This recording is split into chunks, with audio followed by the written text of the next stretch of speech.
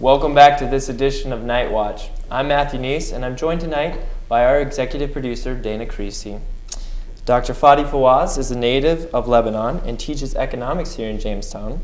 Dr. Thomas Johnson is a political scientist specializing in, in international affairs. And Dr. Brian Lang, also of the Religion and Philosophy Department, who is also a close observer of the region.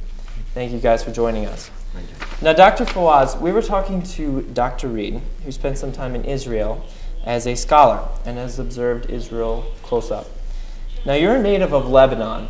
Israel has invaded Lebanon several times in the past in the name of security. What do you think of the Egyptian military junta giving permission to Iran's navy to transit the Suez Canal? Is this a slap in the face to the Israeli Palestinian peace process and the Arab Israeli peace process as a whole? And do you think Israel might be getting too nervous with the whole situation? Uh, definitely, Israel is getting nervous. The whole regime around it is changing. Mm-hmm. I mean, uh, Egypt has been a strong ally for Israel for the last since Camp David agreement in the 70s and that front has been stable. Um, so, and Tunisia has been a strong ally to, to Israel as well. Now uh, you see all the uh, Algeria and Morocco. Um, but uh, uh to go back to the uh, to the issue of the warships passing mm-hmm. the Suez Canal to, uh, I think it was going to Syria. Mm-hmm. That's the problem. The problem with Israel is not the, the warships passing the Suez Canal, but the problem is the, these ships going to Syria, which is Syria is still an, kind of an enemy of, of, of uh, Israel. They don't have a peace uh, agreement between these two countries, and Israel still occupies part of the Israel of the uh, Syrian uh, Golan Heights. And that's the problem with, with this uh, nervous kind of act of uh, the Israeli prime minister and state minister that they have a, a problem with that. The, the, act of warships passing through the Suez Canal going to Syria as an enemy. Right. Now, Dr. Lang, you've studied the Palestinian cause for some years. Do you think, as some in the media have thought, that the unrest and regime change in the region spells the end of the two state option in Israel? Yeah, I don't, I don't know. I don't know how to answer that. Um, as far as the, the possibility of a two-state solution, I don't think it. I don't think it spells the end by any means. Um, I'm optimistic that that that sort of uh, result could occur. Um, I think, in fact, it, it, it, I don't know, I would even say it makes it more likely um, because I think Israel has, uh. Has less power in the region and uh, has less allies. So I think that I'm, I'm hopeful that the Palestinian people will, I don't know, come out of this better off than they were before it started. I, I need to add something. Uh, last week, ever since the uh, July war in 2006 between Israel and Lebanon, there was this conference held once a year, the Herzliya conference, and they go through the strategical decision they have to make per year. And this last one that was held last week, the main recommendation came from it is to hurry up the peace process with the Palestinians and that kind of to give them whatever they want now before the Arab allies for Israel kind of collapse. Like Jordan now is having problems. Mm-hmm. Uh, you never know where it's going to come next. So the, uh, the major uh, recommendation came from that conference for the Israeli uh, government to give the Palestinians a lot more than what the Israeli government has been accepting so far. Like, you know, part of Jerusalem, kind of getting back some of the um, Israeli, that, the Palestinians that have been kind of left uh, Palestine in 1948. So that's again what kind of you just said that Israel now is willing to accept more just to kind of get that peace process and the two-state uh, thing settled now before it gets even worse. Mm-hmm. And uh, yeah, so I think it's important. It kind of complicates the situation a little bit is the fact that every time, on most occasions in international mediation, where the Israelis uh, have given a lot, mm-hmm. um, there's been a tendency at the last minute on the Palestinian side to, to draw back. Um, Yasser Arafat was infamous for it that he would negotiate an agreement and then not uphold his end of it, claiming, of course, that the Israelis weren't upholding theirs. And I'm not saying that they weren't. I don't know that we're necessarily going to see the Israelis acting out of a sense of weakness because of what's happening, making an offer that the Palestinians are necessarily maybe considering their position stronger, except whether they're going to accept something short of what many people want, um, and that is uh, the complete solution. That is, you know, the destruction of Israel. That As the Palestinian side is stronger in negotiation, whether that will compel the Palestinians to accept a compromise which is short. Now, this is all supposition. I'm not disagreeing with Fadi. I just see that it's, it's up in the air, and the history of the negotiations between the parties has been, on both sides, a little less than forthright. That's that's an issue of a trust more than between both sides. I mean, if you go back all the way back to Ishaq Shamir's to the first government at the, uh, in the Madrid uh, peace process when uh, Shamir was the president and he was assassinated because he he approved the peace process and so on. And Rabin came after him, and then uh, so on. But the uh, the going back and forth, it wasn't really an Arafat's issue. It was really all of them were going were lying to each other, kind of uh, on the on the center stage of the world.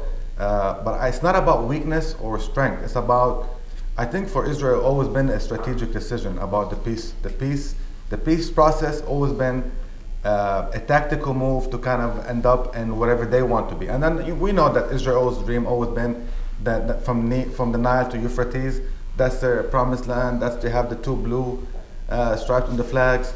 That's the that's the historically what they want. So I think it's not about weakness. It's about even in the AIPAC, the last AIPAC uh, conference here in the U.S. when Clinton, Hillary Clinton, came out and said Israel needs to uh, kind of re- reevaluate a situation in the Middle East, especially with the population growth of the Arabs, the Palestinian Arabs uh, in, in Israel. So I think it's not about it's just being reasonable. I think, and the Herzliya conference that happened last week, it's not an Arabic uh, recommendation. It's from their own people, and the, the recommendation they made is that we need to not give the Palestinians everything they want, and Palestinians want they need want a lot, but give them at least the minimum that we weren't accepting for now, and then later we'll just we'll see what we could do. I think that's what that's basically. Um, Well, look at the area. Um, even in the last two weeks, Algeria, February 12th, Yemen, February 13th, Yeah, yeah. Iran, February 14th. Also, Bahrain exploded, key U.S. ally in the region. Protests continue to spread throughout. Libya, the 18th, and again, it's still continuing. Yesterday, another couple hundred people were shot yeah. attending funerals. Uh, Egypt is still up in the air. They are, as was pointed out, under a military junta right now, and we don't know what it's going to look like in another six months. Um, the most recent news that came out was that China itself was starting to run into problems, and of course, the Saudi royal, royal family is very concerned. Do you think this is going to continue to spread? Is there anything that's going to stop this? If Gaddafi can't stop it in a heavily policed state, and if China has to post police officers at McDonald's to take people in, as they did this past week, because of the spread through the internet, I mean, what do you think is going to stop it, if anything? Or is, is there nothing going to stop the, the reforms? I, I mean, I think it's not going to stop. I think um, what started in Tunisia in January, and then if you look at the regime in Tunisia and Egypt, it can't get any worse police-wise. It can't get any worse. I mean, Libya is not different than what Egypt was, and what Tunisia was, and even bah- uh, but the, I think in Bahrain is different because the opposition is willing to, to, to negotiate with the king himself. And so that they don't want to make that change as what happened in Egypt or Tunisia. You keep the king, keep whatever is, you know, it's not right now, but make it Similar more, to Morocco. Yeah, but make it more of kind of, you know, we have elections and make the king accountable for some things. Uh, but they, want, they don't want that, that big scale change as what happened in Egypt and Tunisia and in Libya now and maybe in Yemen. And so, uh, but I don't think it will change. People, the, the, the thing in the Middle East is in these countries where you have one family owning a country, literally owning a country, Right. and they have billions and billions of dollars, and you have millions of people in that same country where they can afford to eat. In Egypt, for example, an average uh, income per person norm was two dollars a day, two dollars a day, whereas Hosni Mubarak and his family had almost eighty billion dollars in, in, in money and, and, and gold and such. So that's the problem. Uh, it's not a, and the regime change is basically being more democratic and giving the people more of what they deserve, life. Really, what we take granted here in the U.S. is not is, is a luxury back in Egypt and Tunisia and Libya and, and, and those countries. Uh, so I think it won't stop, and it shouldn't. Now, do you think these protests are resulting from just corrupt regimes or authoritarian regimes that are abusing their power? Or is it more have to do, does part of it have to do with cultural and religious reasons as well? Uh, like, for example, in Bahrain, uh, most, most Bahrainians are Shiite, but they're ruled by Sunnis. And then in eastern Saudi Arabia, you have mostly Shiites as well, and they're kind of siding with the Shiites in Bahrain. Is, is it the difference in culture? Is it the difference in uh, background that kind of has I- led the. I think it's almost a, a second generation sort of thing that there was the, the end of colonialism, which is where a lot of the, the current regimes got their start. That um, most, most of the places uh, in the Middle East were colonies of, of various European powers. And sort of the first generation post colonialism was people like Mubarak and uh, Gaddafi. And what we're seeing now is sort of the second generation. Um, what will happen when it's not enough to get rid of, say, the British? Now they've decided, well, we're not happy just having our own government. We want to have our own government that's actually good and responsive to our needs and that sort of thing. So um, I don't know if I see it well, and even even the, the Sunni Shia differences, a lot of those are because of, of colonialism. That the way the the British, sometimes intentionally, sometimes unintentionally, or whoever chopped things up, would be they would work with the minority group, they would give them power over the majority, so that the minority group was indebted to them. So this is why we find right Sunnis uh, ruling over Shia, or the Kurds being split up into into a bunch of different countries. So uh, yeah, I don't know if that's a if that's a cultural difference so much as it is the hangover of the divisions mm-hmm. that were that were created by colonialism. I, I, I don't, I don't really want to look at it from a religious point of view because in Egypt it wasn't. It was Muslims and Christians Right. against against the regime. Mm-hmm. Tunisia was the same. Mm-hmm. Now in Bahrain it, it is an issue because most people who are protesting and getting killed the last week are Shiites. But the Shiites themselves, reading the news, they're not presenting it as they want to separate. They're not presenting it as they want to get, they want to rule. What they want, they want pure democracy, and at least to be treated at the same level as Sunnis are. I think that's what they. Well, so they're not trying to run over the government, and they're not trying to change. They want to make it a Shiite uh, country. I don't think that was their intention, or is their intention. At least they're not saying it uh, on, on Al Jazeera and, and, and all the Arabic networks.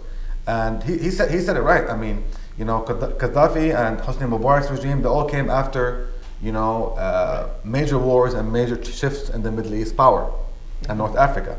And I think people now, especially after Tunisia, people now, they realize they can change. You, you might lose 500, 200 people dying or, or Yeah. getting injured, which is sad, but still, they realize now that they can change. And that's, that's been the effort of, of all these societies that we are willing to change, to, to, I mean, whatever it takes. And I think it's, it's very admirable. Were these seeds sown years ago, before colonialism ended? I mean, we saw uh, what uh, Nasser did in Egypt, of course, uh, nationalizing everything. Um, we saw the variety of problems European powers had with as they gave freedom to colonial empires at the end of the war and all the way through the early 1960s. Are these was this inevitable to happen? I don't like to characterize anything political as inevitable, generally speaking. Uh, I think to build upon what both uh, um, Dr. Fawaz and Dr. Lang had to say, uh, you, you did have a, a period after the era of decolonization where you had rulers who were very popular, who were very much, in the literal meaning of the word, they were of the people. They, they at least spoke the language of the people um, who were celebrated uh, in their own societies and in neighboring countries and around the world who refused to give up power. And there are many of them still in power today. Uh, we still had Dr. Reed here. He's got uh, close uh, contacts in Zimbabwe, for instance, where many African leaders refuse to criticize Robert Mugabe, despite the fact that he's driven one of the stronger economies in Africa into the dust and refuses to cede even an iota of political power. To where the point is that Zimbabweans don't have any notion of time anymore because they have such a great rate of, Yeah. rate of inflation that they've lost mm-hmm. any meaning for the term billion or zillion or million. Definitely. Well, gentlemen, thank you all for coming. Thank you. And thank, Thank you you. for the discussion. We'll be right back. Thank you. Welcome back to our show. I'm joined once again by our executive producer, Dana Creasy, who is sitting in for Keith Norman. Dana, I thought the discussion tonight was pretty wide ranging and covered a lot of topics, particularly, and it was very interesting, particularly about the people, from the people who lived in the region, Dr. Sarabakhsh and Dr. Fawaz. Yeah, I think so too. I think that we got a lot out of this uh, show. This is uh, interesting tonight. Uh, um, Fadi Fawaz, who teaches in the economics department, has some pretty good perspective. And uh, having grown up in Lebanon and lived there off and on several times over his life, as well as uh, being in Texas for many years, he's got the uh, perspective, a little bit of the Americanized perspective, but from someone who's a native and has lived through Right. things. He uh, remembers uh, the Israeli occupations and he remembers the civil wars that have gone on. This country's actually come back from the brink quite a bit over the over the last decade. They built an airport. Uh, they've kind of been able to reclaim a lot of uh, territory that uh, was just more or less lawless for a long time. So I think that's good. I thought it was interesting that Dr. Johnson uh, talked about this whole thing as being a perfect storm. all This entire protest movement that's been going on in the demonstrations. Definitely. And we talked a little bit about Israel being nervous. Saudi Arabia, though, too, with Bahrain right at their doorstep, with Yemen right at their doorstep, they've got to be a little bit nervous, too. I mean, this is a lot of tension in this area. They're a pretty strict government. They haven't had any protests so far, but I mean, can we see maybe in the future, maybe some. Well, I think it's protests important to keep in mind that Saudi has been fairly well known as, uh, as a relatively dictatorial nation. The, the ruling family has controlled uh, the country for many years. Uh, King Fahd has been in office for uh, quite a long time, and his family, uh, the crown princes, and uh, various other, most of the high state officials are, are controlled by a single family. And uh, while the standard of living is good there, and I think that that's part of the problem, as, as um, uh, several of our guests alluded to, that the problem was that brought this on, some of the things that ignited it was the fact that they couldn't buy food. They can't, their economy is really dying uh, or is dead, has been never recovered from years and years of strife, or people who are basically raping the country and enriching themselves. But I think uh, the one thing about Saudi Arabia that's noteworthy is that the country basically is in pretty good financial shape.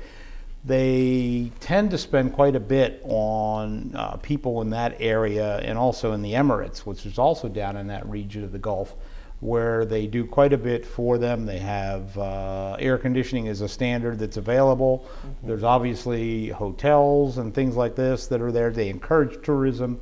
There's quite a bit of money coming into the region the daily standard of living is much higher than the $2 a day that was quoted by one of the guests. But yeah, I believe that they have to be concerned, I, and I can't see that they wouldn't be concerned over this. Now, one of the things uh, with Saudi Arabia, one of the significant things is that they are a uh, very powerful ally the United States has in the region, uh, particularly against Iran, uh, you know, in opposition to Iran. If there is a revolution in Saudi Arabia, how does that affect the United States? Well, I think there's a significant security issue right now about the United States uh, with Bahrain and Saudi in particular, uh, primarily because, uh, as, as you talked about earlier, uh, the U.S. Fifth Fleet is headquartered in Bahrain, and a large part of CENTCOM, the U.S. Central Command, is in the region. And in the 1991 Gulf War um, in Saudi Arabia, uh, there was a significant presence of U.S. troops.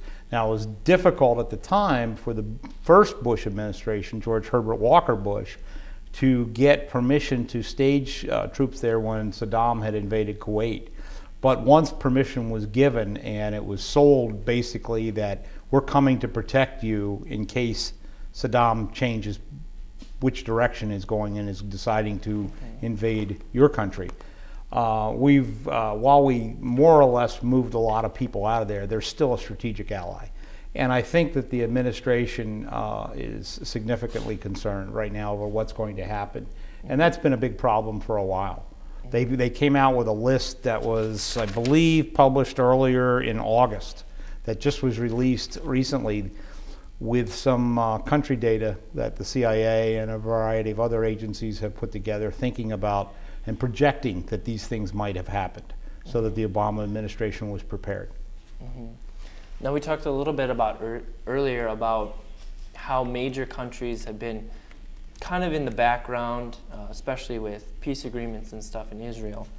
Um, how do you think the U.S., our involvement, particularly in Iraq, uh, now they have uh, protests in Iraq happening in Kurdistan, how do you think U.S. involvement in Iraq or even in the region has maybe fueled some of this? Well, some of that is, is obviously the case, and I think that if anybody thinks that it's not, they're, they're just foolish and not, not uh, paying attention to what goes on. There's been uh, a lot of protests over the years for U.S. involvement in the area. Think again to what uh, several people alluded to, uh, Fadi Fawaz as well as Dr. Johnson talked about, the casting off of colonial era. Well, they don't want to see that part go away just to be replaced by another iron tyranny, uh, as John Kennedy said in his inaugural in 1961. So they don't really want to see the U.S. come in and do other than help. They don't want the U.S. to come in and take over. So any long-term presence, and we've been in, in Iraq for seven years, coming up on eight years. We've been in Afghanistan for a little bit less time, but remember too, the Russians were in Afghanistan for a long time and they couldn't make it work either. So I think there's, that, that's going to definitely influence things as we go forward. Definitely. Now, what we uh, talked a little bit about China, uh, switching gears a little bit. Their protests erupting in there. Now, China's a major world player. You know, one of the biggest economies in the world, big military. If protests erupt in China, what does that really mean for the rest of the world? Well, if you remember the Tiananmen Square uh, youth movement protest, uh, where they may, we really don't know how many people were killed, but it's estimated in over thousands were killed by the military because of the way things are. You know, it's a pretty secretive regime, uh, so we really don't hear the true numbers. But in fact, um, there was protests yesterday uh, that were organized. They were they were they actually borrowed the phrase of uh, the Jasmine Revolution from Tunisia, and there were protests in uh, Beijing and also in Shanghai and 11 other major cities. Now these seem to be organized by the internet, by Facebook and Twitter accounts. So immediately China has moved to shut off internet access and they have uh, reportedly done uh, actually some uh, hacking into a US-based Chinese language newspaper that and their website where a lot of this stuff was posted, calling people to show up at a McDonald's for one place in, in Beijing. Now, the protests in the Arab world, the protests in China, they seem kind of distant, you know, from the U.S. But what kind of repercussions could such protests have for us here at home in the United States? Well, I think it, there, there's many uh, things that can occur that uh, they can affect, obviously, uh, the flow of oil. Uh, they can affect trade agreements. Uh, we are a substantial partner with Israel in security in that area as well as Egypt. Uh, one of the things that came out early on in the Egyptian crisis was who were we going to use as intelligence partners because the Egyptian intelligence service provided us with a lot of information to the military and to the national security agency. So there's there's a number of ways, but I think I think the Obama administration in particular has a uh, an opportunity here to lead. And as you remember early on in the Egyptian crisis, they it seemed the president didn't know which way to come down on the side of the protesters or on the side of the regime. But we can actually show some leadership in the world here without being the world's policeman. Mm-hmm. Well, thank you very much for joining us, Dr. Or Professor Creasy, and Thank you, thank Matt. you for being our co-host. I'd like to thank the audience as well for joining us tonight, and remind them that this edition of our Public Affairs series, Knightwatch, was brought to you in part by the Student Media Center of Jamestown College, through the courtesy of the Jamestown Sun and by the supporters of JCTV Channel 16. Knightwatch premieres on the last Sunday of each month at 7 p.m. right here on Daktel's JCTV Channel 16. Join us again next month for another edition of Knightwatch. I'm Matthew Nies. Good night.